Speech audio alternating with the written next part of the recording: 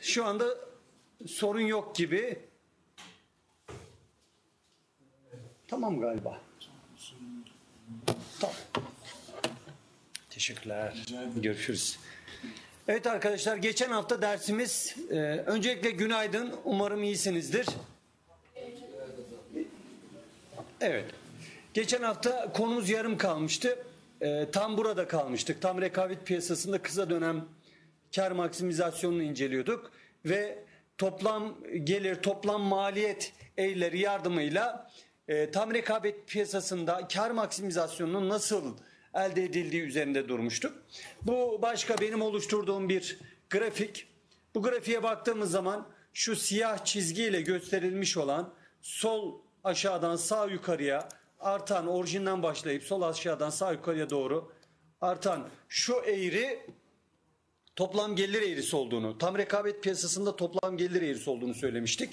Şu gri renkte olan eğrinin de toplam maliyet eğrisi olduğunu söylemiştik. Bu iki eğrinin kesişim noktaları var. A noktası, B noktası.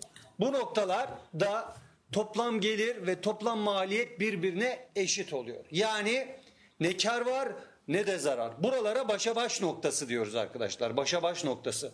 Bu noktalarda kar ve zarar yok. A noktasından önceki şöyle yaparsak A noktasından önceki üretim ve satış düzeylerinde zararın olduğunu bakın burada görüyoruz zaten toplam gelir eğrisi toplam maliyet eğrisi özür diliyorum. Toplam gelir eğrisinin üzerinde yer alıyor. Şurası zarar bölgesi. Aynı şekilde B noktasının sağında kalan yani B noktasının ifade ettiği satış düzeyinden daha fazla satış düzeylerinde de yine toplam maliyet toplam geliri aşmış. Yani şu bölge şu bölgede yine zarar bölgesi olarak karşımıza çıkıyor. Ha geriye ne kalıyor? A ve B noktaları arası. Arası. A, B noktaları dahil değil arası. Şu bölgeye şu bölgede kar bölgesi olarak karşımıza çıkıyor arkadaşlar. Dolayısıyla A ile B arasındaki satış düzeylerinde firma normal üstü kar elde ediyor. Burada baktığımız zaman peki karın en yüksek olduğu yerde yani kar maksimizasyonun olduğu yerde koşulumuz neydi arkadaşlar? Kar maksimizasyonu koşulumuz MR eşit MC. Yani marjinal gelir, marjinal maliyeti eşit olduğunda kar maksimum oluyor. Bunu hiçbir zaman unutmayın. Tüm piyasa türleri için geçerli bu arkadaşlar.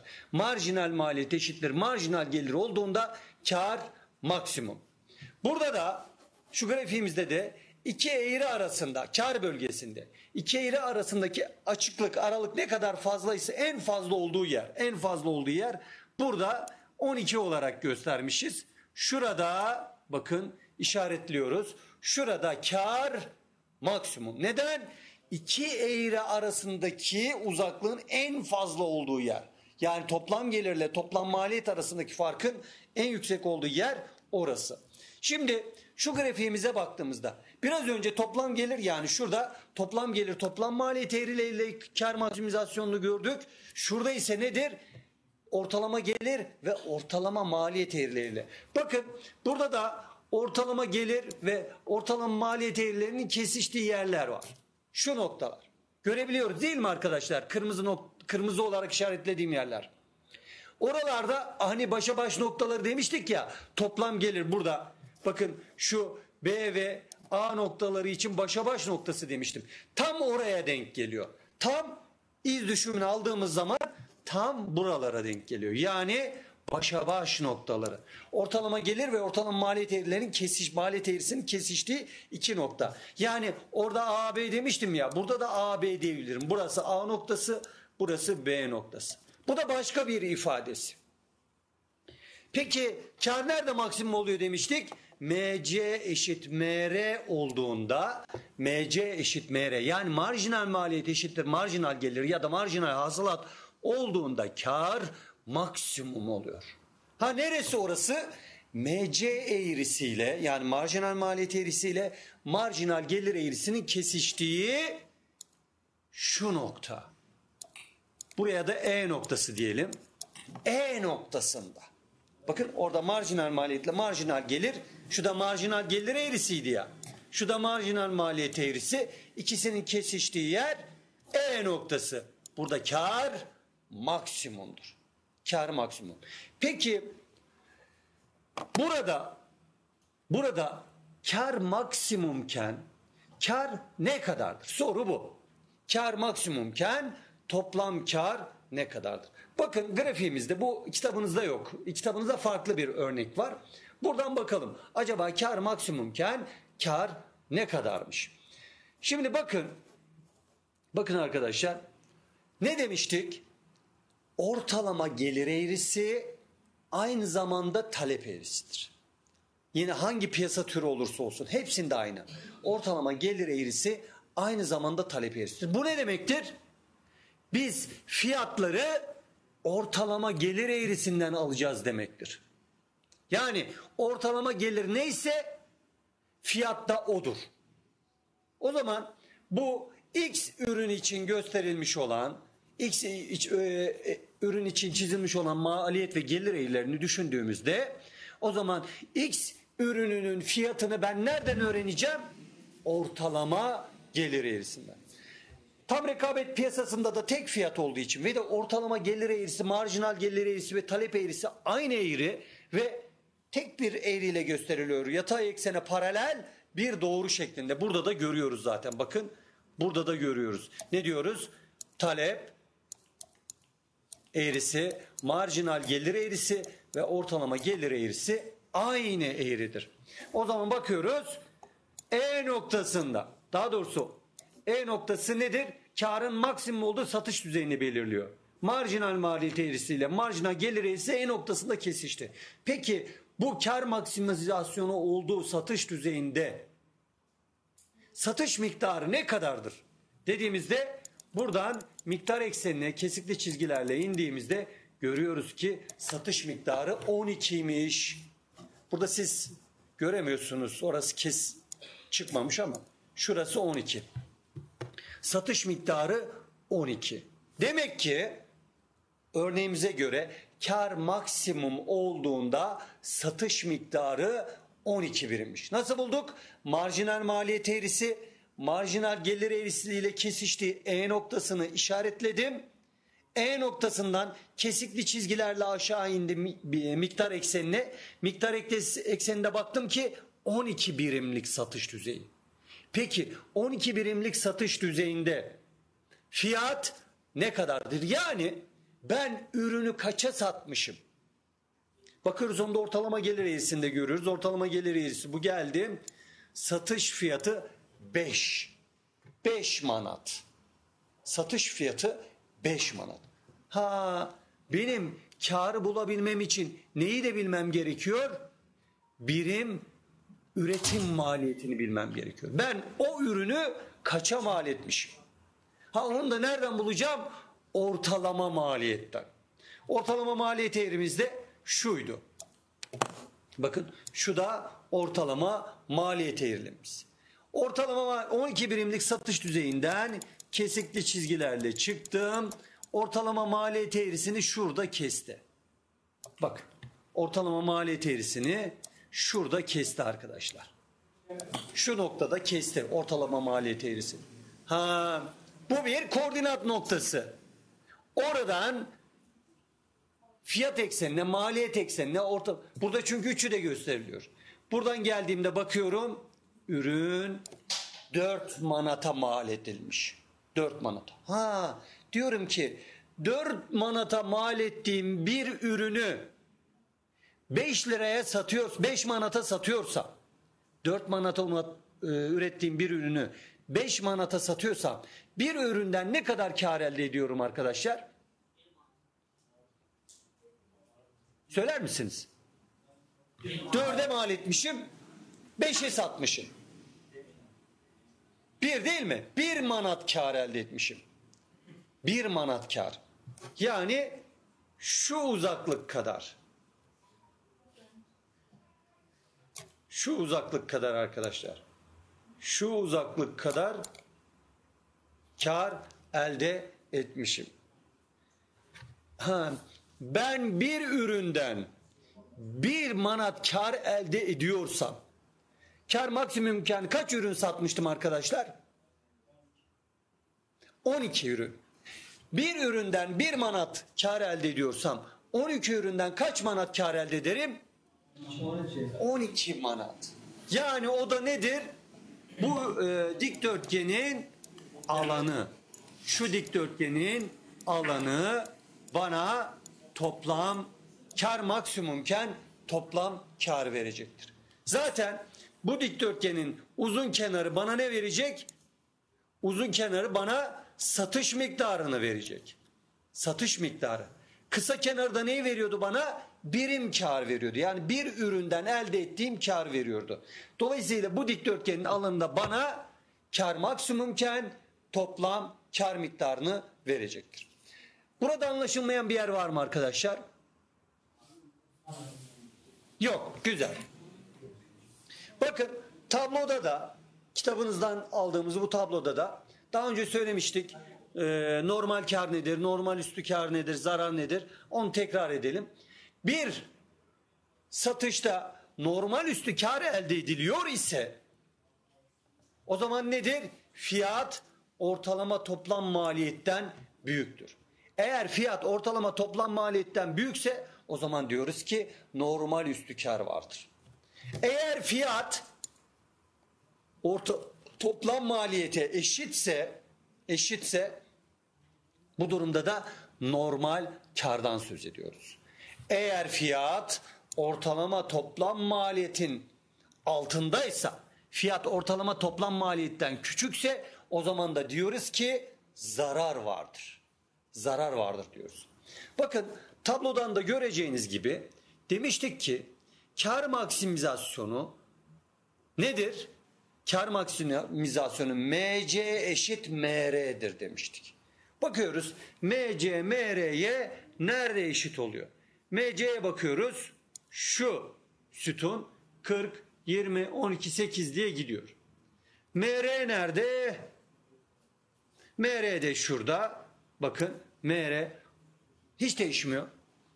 Tam rekabette fiyat tek olduğu için marjinal gelir de tek. Bakıyoruz nerede birbirine eşit oluyor? Ee, 40 ile 30 arası. Tam verilmemiş ama şurada 36 bir saniye. Bir saniye. Şunları temizleyeyim.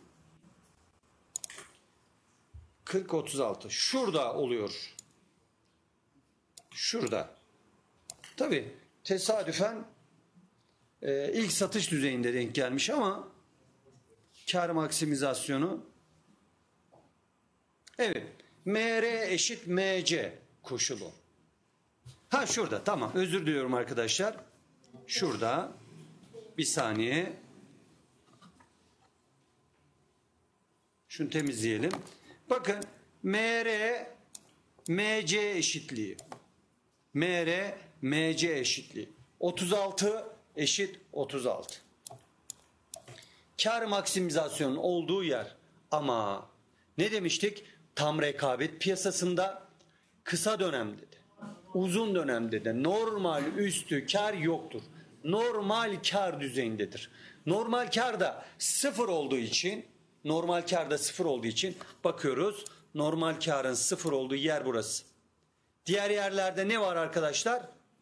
Diğer yerlerde negatif zarar var. Zarar var. Ve diyoruz ki şu grafiğimize gelelim. 6 birimlik satış düzeyinde 6 birimlik satış düzeyinde kar maksimumdur. Yani toplam kar ve toplam maliyet birbirine eşit. Şurada çünkü normal kar sıfır demiştik. Normal üstü kar yok demiştik tam rekabette. Dolayısıyla bu. Ha mantıksız gelebilir.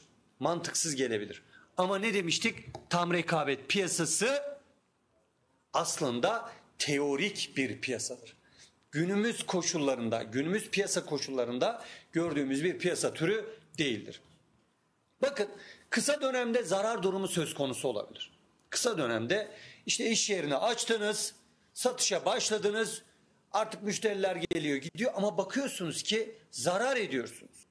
Eğer o piyasada sizin gibi firmalar varsa, zarar eden firmalar varsa bir kısmı diyecek ki arkadaş ben bu zarara katlanamam. Ben piyasayı terk ediyorum. Ben artık bu ürünü satmayacağım. Ne oldu? Bir kısım firma piyasayı terk etti. O firmaların piyasayı terk etmesi sonucunda ne olacaktır arkadaşlar? Fiyat, ürün azaldı mı? Arz azaldı mı? Evet. Çünkü firmalar piyasadan gitti. Daha az firma var. Dolayısıyla ürün azalmıştır. Ürünün azalması dolayısıyla fiyatlar yükselmeye başlayacak. Fiyatların yükselmesiyle arkadaşlar ne olacak? Fiyatların yükselmesiyle marjinal gelir eğrisi yukarıya gelecek. Çünkü fiyat artıyorsa marjinal gelir eğrisi de yukarıya gelecektir ve zarar durumundan şu zarar durumu vardı ya marjinal gelir eğrisi buraya geldi. Bakın yukarı fiyat arttı. Marjinal gelir eğrisi. Bakın ne diyelim buraya 20 30 diyelim. Ürün 30 liraya satılırken zarar var. Ama daha sonra firmalar piyasayı terk etti. Fiyat yükseldi. Kaça yükseldi? Tam şu 40 olsun. 40'a yükseldi. Ve fiyat 40 olduğunda da normal üstü kar ortadan kalkıyor. Özür diliyorum, özür diliyorum. Zarar durumu ortadan kalkıyor. Normal kar durumuna dönülüyor. Dolayısıyla kısa dönemde de uzun dönemde de normal üstü kar yok. Normal kar var. Normal kar var. Bakın burada bu grafiğimizde e, kısa dönemde bakın görüyoruz ki marjinal gelir eğrisi şu aynı zamanda bu ortalama gelir eğrisi aynı zamanda fiyat. Bakıyoruz 19.2 şu grafiğe göre firma aslında zararda. Neden? Fiyat fiyat ortalama toplam maliyetten küçük. Zarar durumu. Bakın ortalama toplam maliyet şu eğriyle gösteriliyor ama fiyat şurada. Kar maksimumken yani kar maksimumken ne diyoruz? MR eşit MC. Kar maksimumken bakıyoruz neresi orası? E1 noktası. 5 birimlik satış düzeyinde 5 birimlik satış düzeyinde aslında fiyatla ortalama toplam maliyeti arasındaki fark şu kadar arkadaşlar. Şunu temizleyelim. Yani 5 birimlik satış düzeyinde şu kadar zarar var. Görüyor musunuz zarar yerini? Şurası okla gösteriyorum. Şu kadar zarar var. Ne kadar? Oranın 40 olduğunu varsayarsak 40'tan da yüksek biraz. 40 oldu. 40 diyelim. 19'da 20 diyelim. Demek ki 20 birimlik bir zarar var. 20 birimlik bir zarar söz konusu. Şimdi bu durumda ne olacak arkadaşlar? Bazı firmalar piyasayı terk edecek. Bazı firmalar piyasayı terk ettiğinde fiyat yükselmeye başlayacak. Ama dikkat ederseniz, dikkat ederseniz burada marjinal gelir eğrisiyle ortalama değişken maliyet eğrisi E noktasında birbirine teğet oluyor. Dikkat edelim. E noktasında birbirine teğet oluyor. Yani E1 noktasında 5 birimlik satış düzeyinde kar maksimum, karın maksimum olduğu ya da burada zarar durumu söz konusu olduğu için zararın minimum olduğu yer. Zararın minimum olduğu yer. Burada arkadaşlar ortalama değişken maliyetle fiyat birbirine eşit. Ortalama değişken maliyetle fiyat birbirine eşit. Buraya kapanma noktası diyoruz. Kapanma noktası. Neden kapanma noktası diyoruz? Çünkü fiyatla ancak değişken maliyetlerimi karşılayabiliyorum. Değişken maliyetler. Yani o günkü hasılatı aldım kasadan, çıkarttım, işçiye verdim. İşçi değişken maliyettir. İşçinin ücretini verdim. Sonra elektrik enerji kullanmıştım, onu ödedim. İşte diğer ham madde değişken maliyetleri ödedim. Bütün değişken maliyetlerimi karşıladım. Aa bir baktım elimde para kalmamış. Ama değişken maliyetlerin hepsini ödedim. Hepsini ödedim. Yani bu ne demektir? Firma firma kısa dönemde değişken maliyetlerini karşılayabiliyor. Burada siz şunu diyorsunuz. Ya arkadaş ben iş yerini yeni açtım. Tabii keşke hemen kar elde edebilsem. Hemen normal üstü kar elde edebilsem. Ancak diyorum ki kısa vadede iş yeri kendini döndürsün öyle derler. Kendini çevirsin, döndürsün. Bu ne demektir? Yani ben değişken maliyetlerimi karşılayayım. İşte işçimin parasını ödeyebileyim. Ee, işte değişken enerjidir bir takım ham maddelerin paralarını ödeyebileyim. Ben buna razıyım.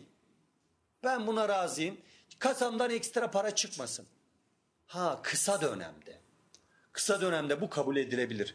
Çünkü normalde aslında toplam maliyete baktığımızda zarar var. Ama değişken maliyetlerini karşılayabiliyorsanız o zaman problem yok diyoruz.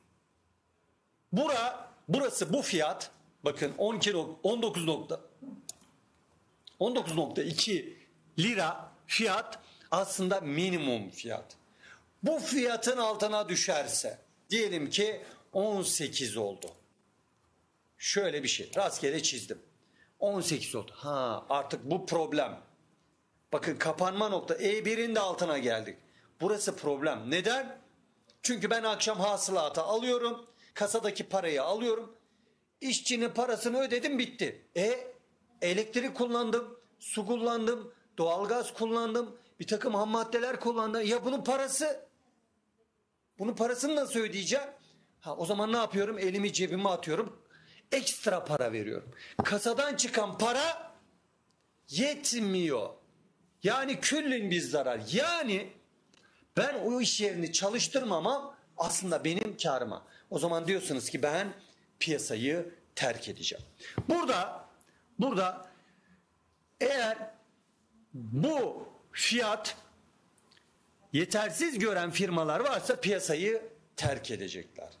Piyasayı terk etmeleriyle birlikte piyasayı terk etmeleriyle birlikte fiyat artmaya başlayacak. Bakın 19.2 biraz önceki grafiğimizin farklı bir gösterimi. Bakın şu kapan, kapanma noktası. E1 demiştik ya bir önceki grafikte. E1 olarak işaretlenmişti. E1. Ha ne demiştik? Bazı firmalar piyasayı terk edecek. O firmalar piyasayı terk ettiğinde fiyat yükselmeye başlayacak. Fiyat yükseldi. 36'ya çıktı. Bakın marjinal gelir eğrisi yukarıya geldi. Marjinal gelir eğrisi yukarıya geldiğinde o zaman kar maksimizasyonu satış düzeyi de değişecek. MR bakın daha önce MR MC kesişmesi burada kesiş, e, gerçekleşiyordu ki satış düzeyini bu belirledi 5 birim. 19.2 fiyat ve 5 birim satış düzeyi. Sonra fiyat yükseldi 36'ya. Bakın fiyat buraya geldi. Miktar MR eşit MC kesişimi bu olan buraya da E2 diyelim arkadaşlar. Bu noktada gerçekleşecek artık. Bakıyoruz satış miktarı 6'ya yükselmiş. Yine bakın hala ee, şöyle diyelim burada burada hala normal üstü kar yok. Artık normal kar. Zaten demiştik ki tam rekabet piyasasında normal üstü kar yoktur. Diyelim ki bir kısım firma daha piyasayı terk etti. Bir kısım daha firma piyasayı terk etti. O durumda fiyat yine yükselecektir. Fiyat yine yükseldi 52'ye geldi. Bakın yeni MRMC eğrisi oldu. Yeni kar maksimizasyonu koşulunu gerçekleştirilen nokta E3 oldu. Yeni satış düzeyi E3'de 7 birim olarak karşımıza çıktı. Bakın ha, burada da 52'de de artık 52 birimlik fiyatta ortalama toplam maliyetin üstüne çıkmışız. Bakın ortalama toplam maliyet eğrisi bu. Ortalama toplam maliyet eğrisinin üstüne çıkmışız. Nedir? Normal üstü kar. Normal üstü kar. Bakın E1, E2, E3 noktaları neyi gösteriyor? belli fiyatlardan satış düzeylerini gösteriyor. 19.2'den 5 birim satılmış. Bakın 36.2'den 6 birim satılmış. 52'den 7 birim satılmış. Bu aslında arz eğrisini gösteriyor. Arz eğrisi neyi gösteriyordu? Arz eğrisi çeşitli fiyat düzeylerinden, farklı fiyat düzeylerinden üreticilerin satmaya razı oldukları ya da hazır oldukları mal ve hizmet miktarıdır arz ve bunu gösteren eğriye de arz eğrisi diyorduk.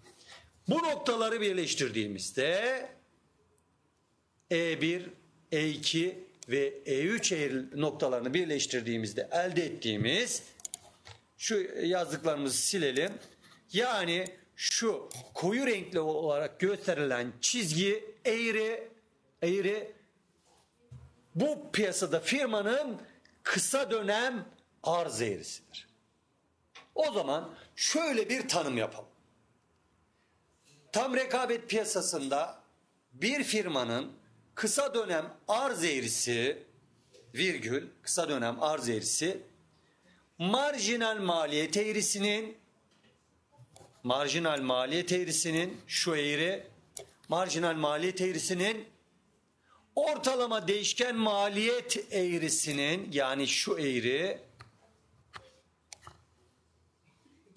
üzerinde kalan kısmıdır.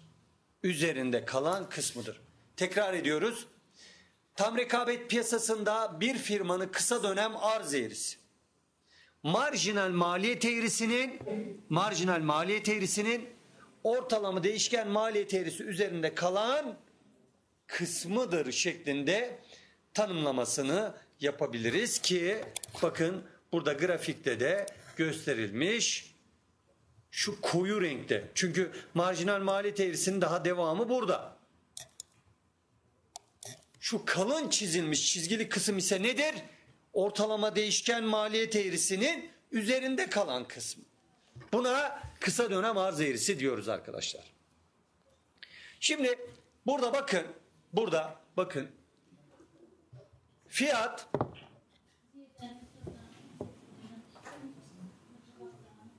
Şurada bir bakalım. Fiyat E1 noktasında belirlenmiş P1. Fiyat E1 noktasında belirlenmiş P1. Daha sonra daha sonra arkadaşlar ne olmuş? Ee, talepte bir şekilde artış meydana gelmiş. Talepte bir şekilde artış meydana gelmiş. Talep artmış. Talep eğrisi D2 noktasına kaymış.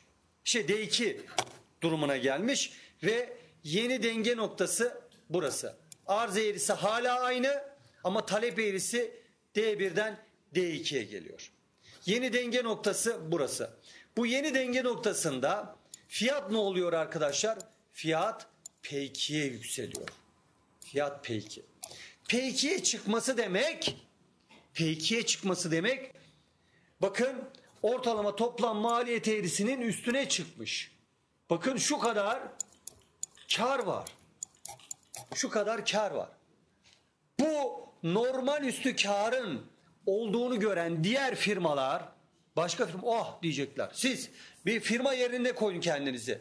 Yatırım yapacaksınız. Neye bakarsınız? Karlı piyasaları tercih edersiniz. Bir girişimde bulunacaksınız. Hangi piyasada kar varsa o piyasaya girmek istersiniz. Dolayısıyla bu normal üstü karı gören başka firmalar piyasaya girecektir. Girişler sonucunda arz artacak doğru mu? Değil mi? Yeni firmalar piyasaya girdi. Daha çok mal var piyasada. Arz artacak. Arz eğrisi de S1 konumundan S2 konumuna gelecek.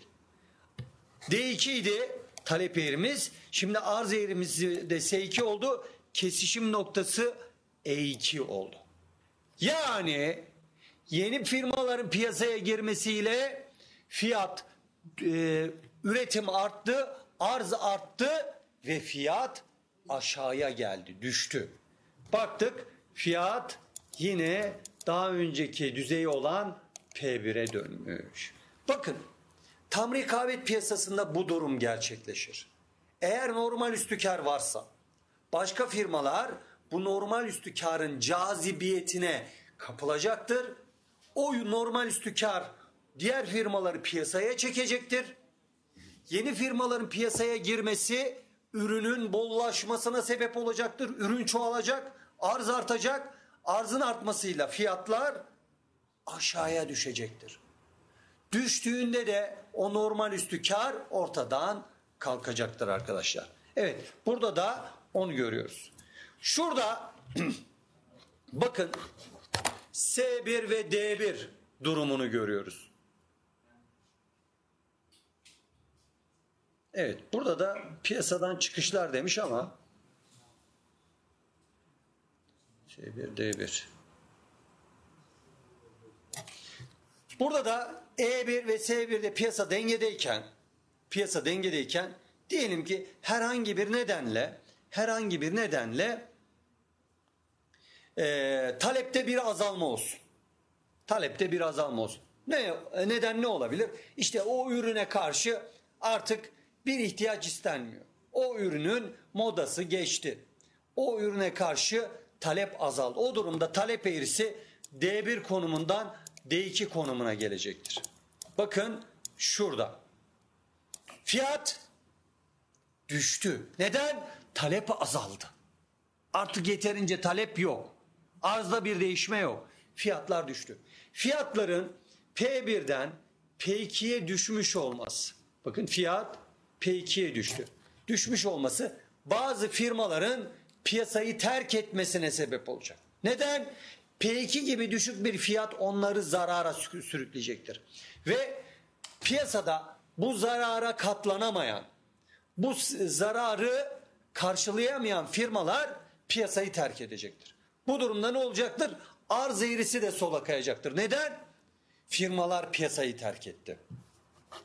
Ve arz azaldı. S1 konumundan S2 konumuna gelecek. Şimdi D2'ye kaydırmıştık. Zaten yeni eğrimiz D2. Arz eğrisi de S2 konumuna geldi. Yeni denge noktası E2 noktasında sağlandı. E2'ye gelirken de ne oldu? Firmaların piyasayı terk edip gitmeleri arzın azalmasına fiyatında yükselmesine sebep oldu. Ve daha önce P2 olan fiyat tekrar P1 durumuna döndü ve zarar durumu normal kar durumuna piyasayı getirdi. Bakın burada da piyasadan çıkışlar, girişler dolayısıyla arz ve talep eğrilerinde kaymalar sonucunda e, uzun dönem arz eğrisini görüyoruz. Bakın piyasadaki o kaymalar neticesinde biraz önce anlattığımız nedenler, nedenlerden dolayı kaymalar neticesinde S1 arz eğrisi S2 konumuna geliyor. S1 arz eğrisi S2 konumuna geliyor.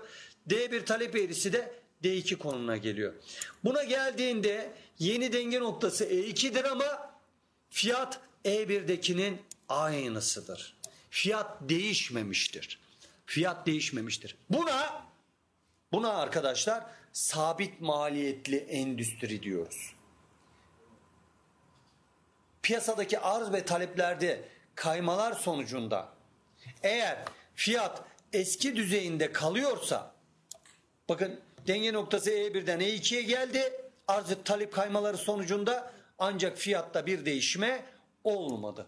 Buna sabit maliyetli endüstride uzun dönem arz istiyoruz. Yatay eksene paralel. Eğer bu arz ve taleplerdeki kaymalar sonucunda arz ve taleplerdeki kaymalar sonucunda bakın E1'den E2'ye geldiğinde denge E1'den E2'ye geldiğinde denge ne olmuştur? Fiyat yükselmiştir. Fiyat yükselmiştir. Bu durumda da buna artan maliyetli endüstri diyoruz. Neden? Çünkü piyasada girdilerle ilgili olarak bir takım kıtlıklar vardır. Yeterli miktarda girdi olmadığı için o arz artışını karşılayacak yeteri miktarda girdi olmadığı için ne oldu? Girdilerin fiyatları yükseldi. Girdi fiyatlarında yükselme maliyetlerin artmasına sebep oldu. Maliyetlerin artmasıyla da yeni denge noktası daha yüksek bir fiyatta gerçekleşti. Eğer bu arz ve talep eğrilerinde kaymalar sonucunda fiyat eski denge noktasına göre daha yüksekse bu durumda endüstride artan maliyetli bir durumun söz konusu olduğunu ve oluşan uzun dönem arz eğrisinin de artan maliyetli bir uzun dönem arz eğrisi olduğundan bahsediyoruz. Bakın bu grafikte ise nedir? Ee, arz ve talep eğrilerindeki kaymalar sonucunda denge noktası daha düşük bir bir sonraki denge noktası yani E2 denge noktası daha düşük bir fiyattan gerçekleşmiş. E1 denge noktasında fiyat P1 iken arz ve talep eğrilerinde kayma noktasında oluşan denge noktası olan E2 daha düşük bir fiyattan gerçekleşmiş. Yani şu olmuş arkadaşlar. Piyasada fazla girdi var. Çok girdi var. Girdiye ulaşma, girdiği elde etme açısından sıkıntı yok. O yüzden arz arttığında e, girdi maliyetleri artmadan istihdam gerçekleşmiş. Girdi istihdamında herhangi bir sınırlılık, bir kıtlık, bir sıkıntı yok. Dolayısıyla bu bu bu durum maliyetlerin daha da aşağı gelmesine sebep olmuş. İşçi bir, bir işçi demiş ki ben daha düşük fiyata çalışırım demiş. Bir ham madde sağlayıcısı demiş ki ben daha düşük maliyetten sana ham madde veririm demiş. Dolayısıyla ne olmuş? Maliyetler aşağı gelmiş. Tabi bu durum nadiren karşılaşılan böyle bir durumu nadiren görebilirsiniz. Genellikle e, faktör piyasalarında yani e, üretimde kullanılan faktörlerin alınıp satıldığı piyasalarda bu tür bir gelişmeler durumunda fiyatın artacağını görmemiz normal bir durumdur. Ama böyle de bir teorik durum söz konusu. Bakın arz ve talep eğrilerinde kaymalar sonucunda yeni denge noktası, E2 denge noktası daha düşük bir fiyattan gerçekleşmiş. Dolayısıyla oluşan arz eğrisi negatif eğimli bir eğri ve bu endüstride Tamamdır. Teşekkür ederim. Kolay gelsin. Evet arkadaşlar tam son e, slaytımızı anlatırken kesinti oldu. E, dedik ki tam rekabet piyasası tam rekabet piyasası teorik bir piyasadır. Ve e, günümüz piyasa koşullarında e, sağlamak da çok zordur. Özellikleri gerçekten sağlanması zor olan özelliklerdir. Ama hangi ülke ekonomisine bakarsanız bakın özellikle piyasa ekonomisinin uygulandığı ülkelerde hep rekabet artsın istenir. Çünkü rekabetin artması demek, rekabetin artması demek daha düşük fiyatların oluşması demek. Daha düşük fiyatlar oluşursa insanlar daha çok mal ve hizmet tüketebilir ve faydaları ve refahları artar. Ancak bunun şöyle bir handikapı vardır. Fiyatların düşmesi işletmelerin işine gelmez çünkü karları azalır. E bu durumda firmaların ne yapması gerekir? O karlarını korumaları gerekir. Bu karı koruyabilmeleri için de maliyetlerini düşürmeleri, daha düşük maliyetle üretim yapmaları gerekir. Bunu yaparken bunu yaparken ne yapacaklardır? Bunu yaparken kaynaklarını etkin kullanacaklardır. Kaynaklarını etkin, kaliteden ödün vermeden kaynaklarını etkin kullanacaklardır. Dolayısıyla tam rekabet piyasasının olduğu, hüküm sürdüğü piyasalarda etkin kaynak kullanımı vardır. Etkin kaynak, üretim etkinliği diyoruz buna. Bu ne demektir? Minimum ortalama toplam maliyet demektir. Bakın burada da slaytta da görüyoruz arkadaşlar. Burada fiyat ve marjinal gelir birbirine eşit. Marjinal maliyet ve en düşük ortalama toplam maliyet birbirine eşit oluyor. Ha, bunu günümüz koşullarında sağlamak zor ama rekabeti artırdığımız ölçüde buraya yaklaşacağız demektir. Kaynak kullanımda etkinliği sağlayacağızdır. Diğer bir etkisi ise tahsis etkinliği. Yine burada tam rekabet piyasasında firma firma sayısı arttıkça ya da firmalar e, daha fazla üretim gerçekleştirdikçe neyi e, sağlıyorlar arkadaşlar? Tahsis etkinliği. Yani üretim artsa da ürünün kalitesinde bir değişiklik olmuyor. Kullanılan girdinin niteliği, kullanılan ham maddenin niteliğinde bir değişim olmuyor. Dolayısıyla kaynakların tahsisi, kaynakların bölünmesi dolayısıyla bölünmesi dolayısıyla üretimde de herhangi bir kalite farkı, üretimde A ürünüyle B ürünü ya da aynı markanın farklı miktar üretimleri sonucunda ortaya çıkan üretimde herhangi bir e, kayıp olmuyor. Nitelik aynı homojenlik korunmuş oluyor. Buna da tahsis etkinliği diyoruz arkadaşlar. Şimdi tabii tabii arkadaşlar e, piyasalarda ne demiştik? E, tam rekabet piyasası teorik bir piyasadır. Tam rekabet piyasası teorik bir piyasadır. Günümüzde e, peki günümüzde görülen piyasa türleri nedir? Günümüzde görülen piyasa tür, türleri arkadaşlar eksik ya da aksak rekabet piyasaları dediğimiz piyasalardır. Şimdi tam rekabet piyasası için saymış olduğumuz dört tane özellik vardı. Bir, çok sayıda alıcı ve satıcı vardır. İki, homojen mal üretilir. Üç, piyasaya giriş çıkış serbesttir. Dört, tam bilgi durumu söz konusudur. Bu dört özellik bir piyasa bu dört özelliği taşıyorsa o piyasa tam rekabet piyasasıdır diyoruz. Ancak günümüzde bu dört özelliği taşıyan bir piyasa türü yoktur. Hangi piyasalar vardır? Eksik. Peki ne eksik? Eksik olan şey nedir? Ya da aksayan şey nedir? İşte eksik olan ya da aksayan şey bu saymış olduğumuz dört özellik var ya. Bu özelliklerden birinin dahi çalışmaması, birinin dahi eksik kalması, aksaması eksik, aksak rekabet piyasalarının ortaya çıkmasına sebep oluyor. Tam rekabet piyasasının bozulmasına ve eksik ya da aksak rekabet piyasalarının ortaya çıkmasına sebep oluyor. Bunlardan birincisi arkadaşlar monopol piyasasıdır. Monopol piyasasıdır. Monopol nedir? Monopol tekel. Tekel piyasası demek tek bir firmanın olması demek. Tekel piyasasıyla tam rekabet piyasası neredeyse birbirine zıt piyasalardır. Yani bir çizim yaptığımızda bir çizim yaptığımızda bir çizgi çizdik mesela. Bir çizgi çizdik. Bu çizginin bir ucuna tam rekabeti en uzak ucuna da monopoli koyabilirsiniz arkadaşlar. Birbirine tam zıt piyasa türleridir.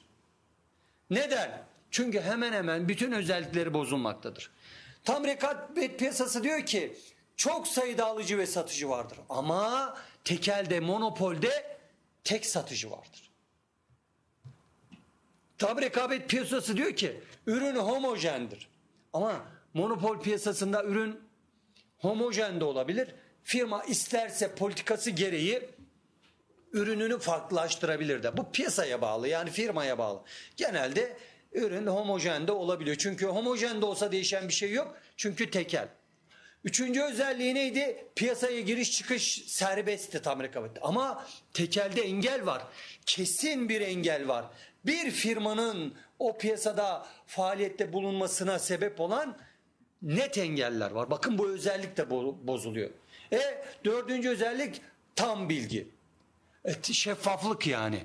Ama burada her şey monopol firmasının elinde. İsterse bilgi verir, isterse vermez. İsterse doğru bilgi verir, yeterli bilgi verir, isterse yetersiz bilgi verir. Bu tamamen monopolcu tekel firmasının elindedir. Yani neredeyse tüm özellikler bozuluyor. Tekelci firma tektir ve fiyat belirleme gücü vardır arkadaşlar. Ürününü istediği fiyattan satar.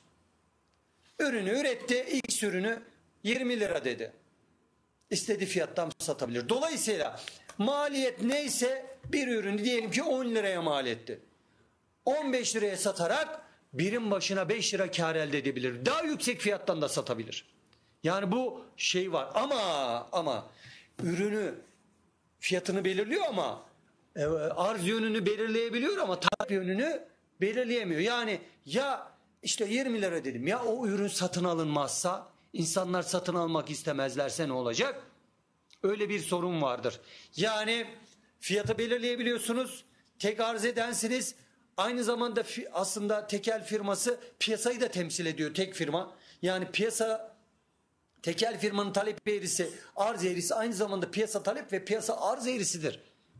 Yani piyasayı da temsil ediyor aslında. Ama ne kadar satacağını belirleyemiyor. İşte 20 lira dedi kimse almadı. E ne yapacak? Satabilmesi için ne yapması gerekir arkadaşlar? Fiyatını düşürmesi gerekiyor değil mi? Sonra dedi ki 19. Ha 19'a alan çıktı. Bir kişi aldı 19'a. Ha 19'a bir kişi alıyor. E ben bir tane daha satmak istiyorum. E bir tane daha satmak istiyorsan o zaman fiyatını düşüreceksin. Fiyatını 18'e düşürdü. 3 kişi aldı. Mesela 19 iken bir kişi almıştı. Fiyatını 18'e düşürdü. 3 kişi aldı. E ben de 5. E, kişiye de satmak istiyorum. O zaman fiyatını düşüreceksin. Ha neyi gösteriyor bu? Fiyat düştükçe talep artacaktır. Dolayısıyla tekel firması daha fazla satmak istiyorsa fiyatını düşürecektir. Fiyatını düşürdüğü ölçüde de satışları da artacaktır arkadaşlar. Piyasa piyasada tekel piyasasında arkadaşlar e, piyasa gücünü belirleyen bir takım faktörler vardır. Yani o tekeli oluşturan tekeli oluşturan bir takım faktörler vardır. Bunlar nedir? Bir ölçek ekonomileri. Ölçek ekonomilerinden daha önce bahsettik. Dedik ki ölçek ekonomisi firmaların büyümesinin, büyüklüklerinin onlara sağlamış olduğu maliyet avantajları demiştik. İşte küçük bir firma günde 10 ton o ham maddeden alıyor ve birim başına 20 lira ödüyor. Kilogram başına 20 lira ödüyor. Ha büyük firma 100 ton alıyor. 100 ton. E 100 ton aldığı zaman küçük firmaya 20 lira küçük firmanın 20 liraya aldığı bir ham maddeyi büyük firma diyor ki ben 100 ton alıyorum. Ona 10 tona şey 18 liraya 10 ton bana daha düşük vereceksin. O da diyor ki tamam. Ee, tedarikçi de diyor ki tamam aynı ürünü ben 20 liraya değil sana 15 liraya veriyorum. Ha bakın büyük firma ne yaptı? Büyük olmasının avantajıyla söz konusu malı daha ucuza satın alabildi. Dolayısıyla her ham maddeyi büyük firma daha ucuza alacaktır. Daha ucuza aldı aldı aldı. Şimdi aynı piyasada 5 tane firma var. Büyük firma piyasanın %60'ını kontrol ediyor. %60 ürünü diyelim ki 100 tane ürünün satıldı piyasada 100 tane ürün satıldı. Bunun 60'ını büyük firma satıyor 40'ını geri kalan 4 firma satıyor. Diyelim ki diğer 4 firmada bunu 10-10 bölüştü. Ee, şimdi büyük firma ölçek ekonomilerin sağlamış olduğu avantajla söz konusu ürünü örneğin 30 liraya mal etti. 30 liraya mal etti. Küçük firmalarda e, bu büyük firmanın sağladığı avantajları sağlayamadıkları için maliyetleri diyelim ki 50 liradan gerçekleşti. 40 diyelim 40 lira. Bakın büyük firma 30 liraya mal ediyor. Küçük firmalar 40 liraya mal ediyor. Çünkü çünkü küçük firmalar ölçek ekonomisinden faydalanamıyorlar. Ee, şimdi ne olacak? Küçük firmalar ancak 41 liraya satarlarsa kar elde ediyorlar. Ama büyük firma 31 liraya 32 liraya da satsa kar elde ediliyor, edebiliyor. O durumda eğer e, büyük firma örneğin 35 liraya sattı ürünü. Büyük firma birim başına 5 lira kar elde edecektir. Küçük firmalar bu fiyattan kar elde edebilir mi arkadaşlar? 35 liradan. Edemez değil mi? Neden? Çünkü 40 liraya mal etmiş zaten. 35'e satamaz. 35'e satarsa birim başına 5 lira zarar eder. Hadi diyelim sattı. Peki ne kadar ne, ne zamana kadar satacak? Diyelim ki bir müddet bunu finanse edebildi. 40 liraya üretti, 35'e sattı. O 5 liraya bir müddet finanse etti. Ama ne zamana kadar? Dolayısıyla e, maliyet dezavantajı olan küçük firmalar piyasayı terk ettiler. Çünkü büyük firmayla rekabet edemiyorlar. E geriye kim kaldı? Büyük firma, tekel. İşte ölçek ekonomileri bu şekilde tekel yaratıyor arkadaşlar. Birinci e, kaynağı bu. İkinci patentler ve telif hakları. Biliyoruz değil mi patent nedir? Patent, telif hakları. Bir ürünü üretirsiniz, icat edersiniz, geliştirirsiniz. Bunu o e, ülkelerde patent e, kurumları vardır. Gidersiniz, tescil ettirirsiniz. Patentini alırsınız. Ha, patentini aldım. Şu ürünü ben ürettim.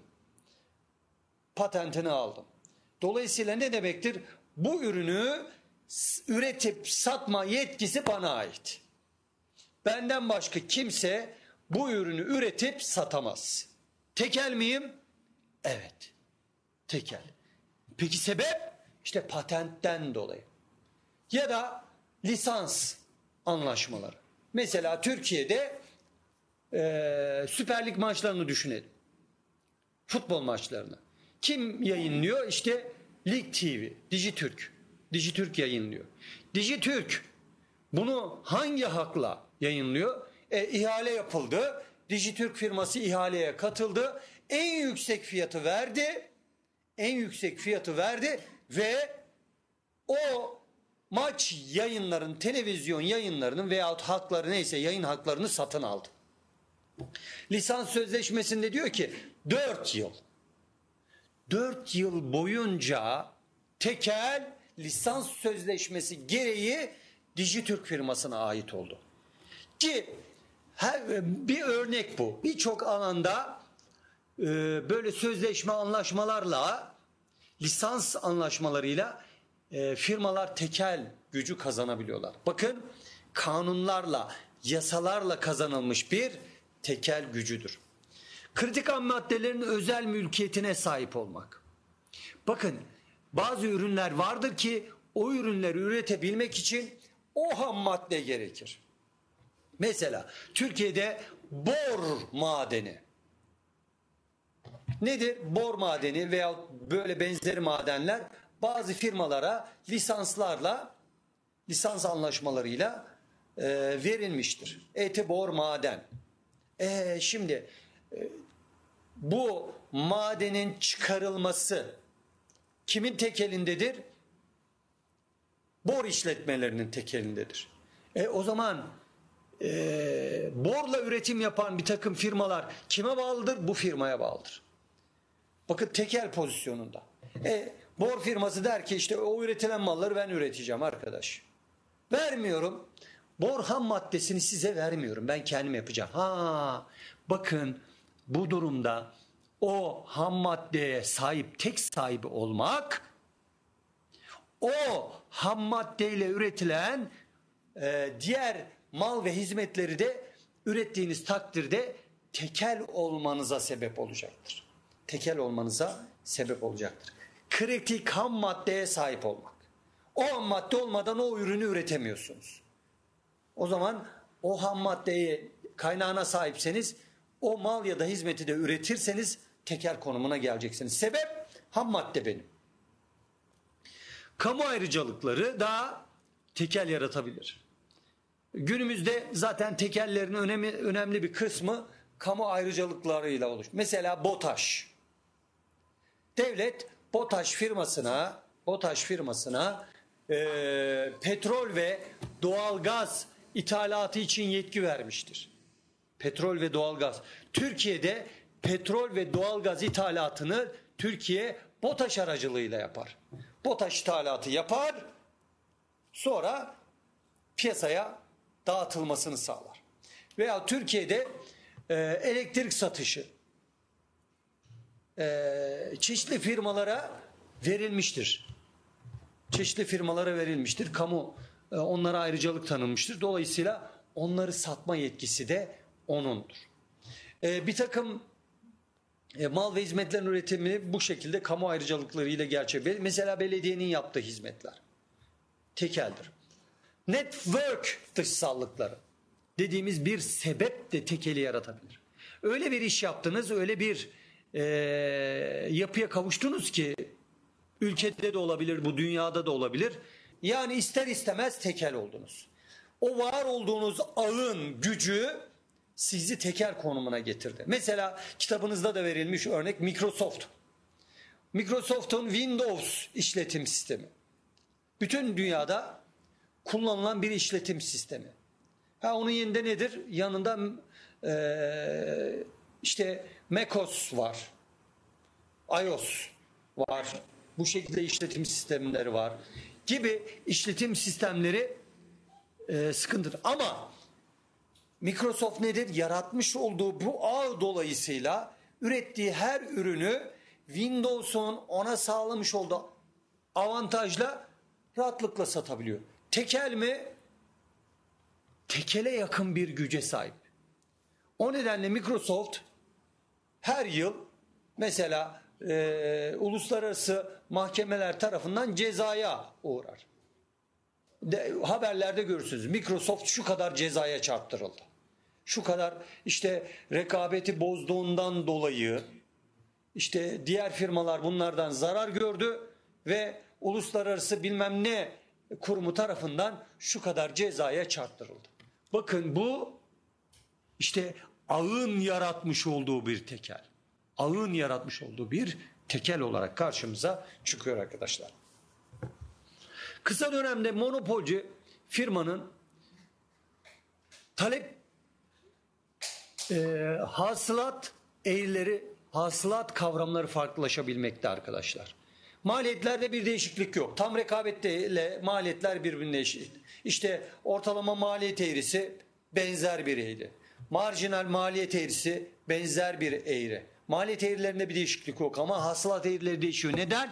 Tam rekabet piyasasında tek bir fiyat vardı. Ama ta, e, monopol piyasasında farklı fiyatlar var. Dolayısıyla monopolcu firmanın talep eğrisi e, bildiğimiz talep eğrisi sol yukarıdan sağ aşağıya azalan bir eğri şeklindedir. Daha önce de söylediğimiz gibi monopolcu firma fiyatı doğrudan belirleyebilmekte ancak daha fazla satmak için fiyatını düşürmek zorundadır söylemiştik. Bakın burada tablomuzu inceleyecek olursak arkadaşlar firma fiyatı 100 lira olarak belirlemiş. Tabloyu görüyoruz değil mi? Firma fiyatı 100 lira olarak belirlemiş. Ne kadar mal satmış? Hiç. Kimse almamış. Sıfır. Kimse almamış. Satış yok. Ya ne yapacağım ben diye düşünmüş. E, bir fiyatı düşüreyim. Fiyatı 90'a düşürmüş. Bir tane satmış. Bakın toplam hasılat 90, ortalama hasılat 90, marjinal hasılat 90. Daha bir tane satmış. Ortalama hasılat neydi arkadaşlar? Daha önce anlatmıştık. Satış birimi başına hasılat. Örneğin 100 tane ürün sattınız 1000 lira gelir elde ettiniz. Bakıyorsunuz toplam hasılatınız 1000 lira. 100 tane ürün sattınız. Ortalama hasılatınız nedir? Toplam hasılat bölü satış miktarı. Toplam hasılat 1000'di. 100 tane satmıştım. 1000'i 100'e böldüm 10. Demek ki ortalama hasılat 10 lira. Ve ortalama hasılat neye eşitti arkadaşlar? Fiyata eşitti. Ortalama hasılat eşittir fiyat. Ortalama hasılat eşittir fiyat. Ha. Şimdi dediniz ki ben bir tane daha satacağım. İkinci ürünü de satmak istiyorum. O zaman fiyatı düşürmek zorunda. Fiyatı düşürdü 80'e. ikinci ürünü de sattı. Toplam hasılat ne oldu? Toplam hasılat 2 çarpı 80 bakın 2 çarpı 80 160. Toplam hasılat 160 oldu. Ortalama hasılat nedir? 160 bölü 2. 80. Bakın ortalama hasılat da 80 oldu. Peki marjinal hasılat ne oldu? Marjinal hasılat neydi? Son birim satışın toplam hasılatta yarattığı değişikliktir. Toplam hasılat son birim satışla ne oldu? 90'dan 160'a çıktı. 90'dan 160'a çıktı. Ne kadar arttı? 70 birim. Marjinal hasılat 70. Bakın marjinal hasılat ortalama hasılatın altında kaldı. Neden? Ek birim satışı gerçekleştirmeniz için fiyatı düşürmek zorunda olmanız dolayısıyla marjinal hasılat ortalama hasılatın altında yer aldı arkadaşlar. Üçüncü birimi sattı. Fiyatını düşürmek zorunda. 70'e düşürdü ve üçüncü birimi sattı. Toplam hasılat 210'a yükseldi. 3 çarpı 70 210. Ortalama hasılat ne kadardır? 210 bölü 3. 70. 70. Peki marjinal hasılat nedir? Toplam hasılatta meydana gelen ek birim satış sonucu toplam hasılatta meydana gelen değişme. 160'tan 210'a çıktı. Ne kadar arttı? 50 birim. Bakın 50 birim. Bu böyle sürecek. Fiyat düşürdükçe fiyat düşürdükçe satışlar artacak. Toplam hasılat da artacak ama bir yere kadar. Nereye kadar? Nereye kadar arkadaşlar? Bakın toplam hasılat 5. birim satışa kadar artmış.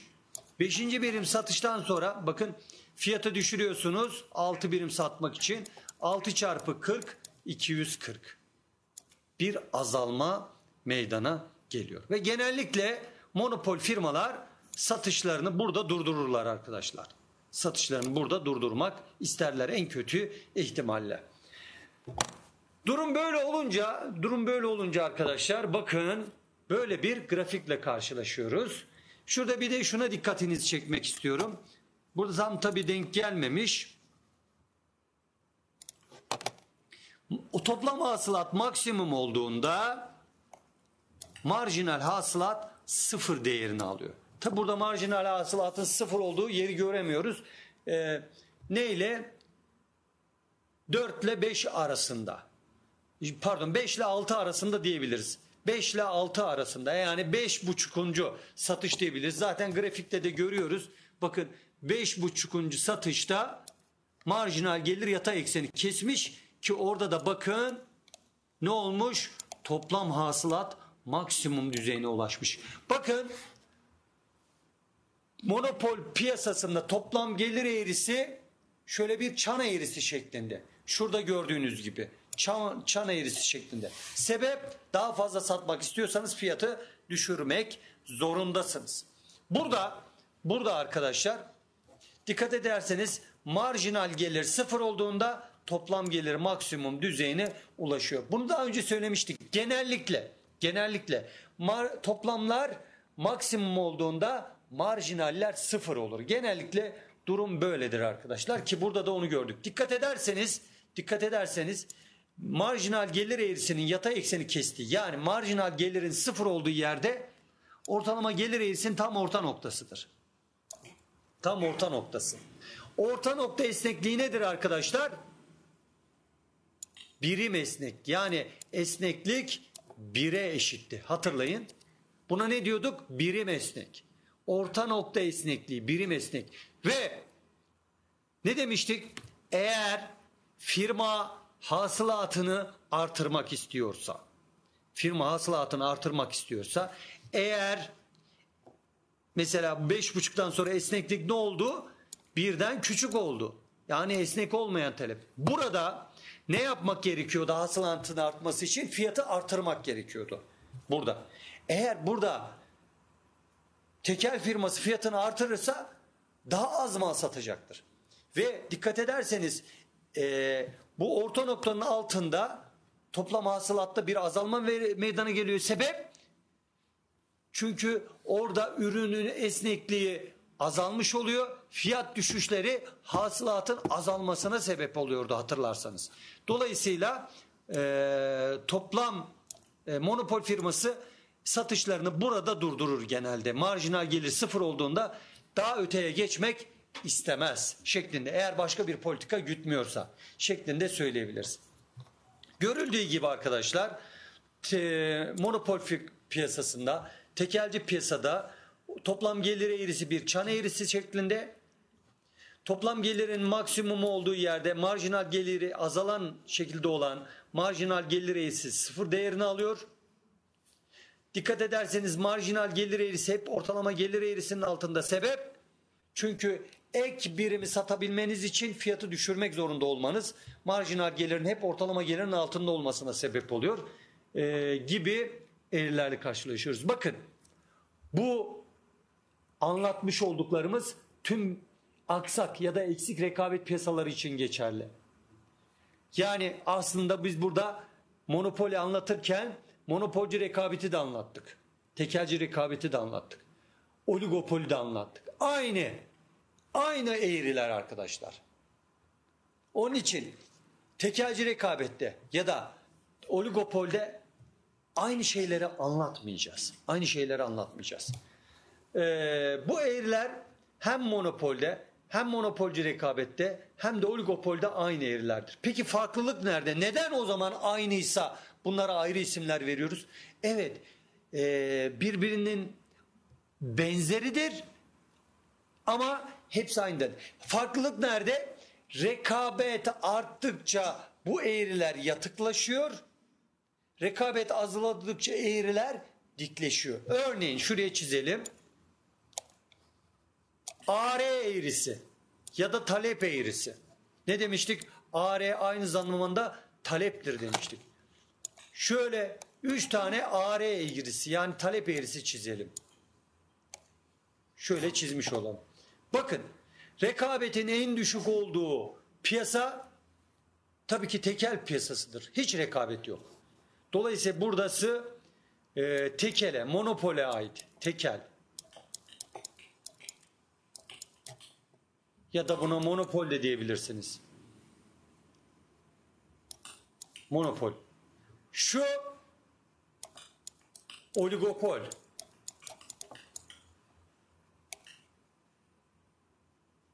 Bu oligopol. Şu ise tekelci rekabet ya da monopolci rekabet. Ci rekabet. Tekelci rekabet diyoruz arkadaşlar. Aynı anlatımı aynı, şekillerin, eğirlerin şekli aynı. Ancak eğimlerinde eğimlerinde bir farklılaşma meydana geliyor. Eğimlerinde bir farklılaşma meydana geliyor. Arkadaşlar isterseniz burada bırakalım. Burada bırakalım. Gelecek dersimizde tam buradan kısa dönemde monopolci firmanın kar maksimizasyonu kısmından devam ederiz. Hemen önce bir hatırlatma yaparız ve e, derslerimizi bitirmiş oluruz. E, sonrasında da e, dersimizin kalan bölümünde de tekrar yapacağız. Sınavlarınız ne zamanda arkadaşlar? Duyamadım ama. 24-25 Şubat. Tamam. E, dolayısıyla o zamana kadar herhalde iki dersimiz daha olacak. E, onlarda da bol bol soru çözeriz. Tekrar yaparız. Tamam e, Haftaya görüşmek üzere. Hoşçakalın arkadaşlar. Derslerinizde kolaylıklar ve başarılar diliyorum.